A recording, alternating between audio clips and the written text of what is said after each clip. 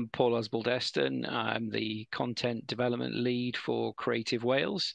Uh, so, responsible for growing the screen, TV, animation, and games industries. Uh, nice to be here to, today talking about what we offer the sector. Um, from a development perspective, there are two main areas of support that we give. One is uh, development funding, which is a, a regular pot, uh, a regular competitive pot of funding that we have uh, each year uh, that uh, will give you up to £25,000 as a grant, uh, non repayable grant, to develop a concept in animation.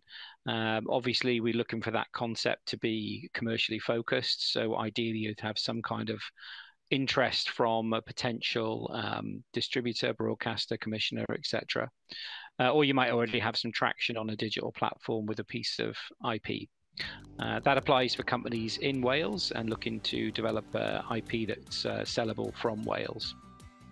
The second sort of area that we offer is uh, a new initiative called the Young Content Fund in Wales that offers up to 50,000 for uh, specifically for content targeted at young audiences. Now that's not specifically reserved for animation.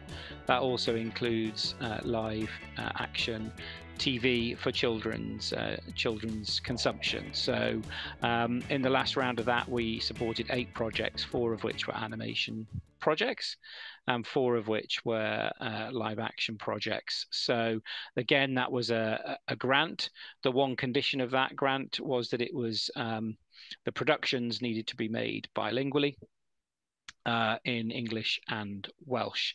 Clearly, if you know it's a company that's um, coming into Wales with experience of producing other languages, there's no problem to produce in multiple languages, but there is a requirement about it being um, English and Welsh language production uh, in whatever format that might take, subtitles or, or, or, voice or whatever. The development funding and the young uh, or young content fund uh, are generally reserved for Welsh businesses because what we're trying to do is is get more IP produced in Wales from Wales. I think when it comes to development and and co-production, we'd have an open mind. We typically say, you know, if the Welsh business owns at least, you know, 50% of the of the IP, then that would enable us to look at a co-production with an outside uh, company. We do look obviously for projects that have uh, have a good component of um, Welsh culture, Welsh language.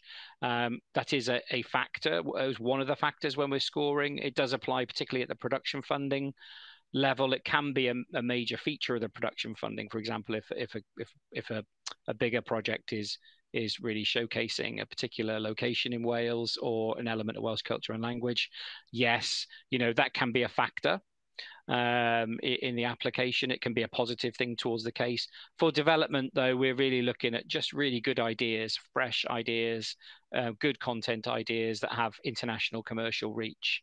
And so, for that reason, that's the real primary focus for development.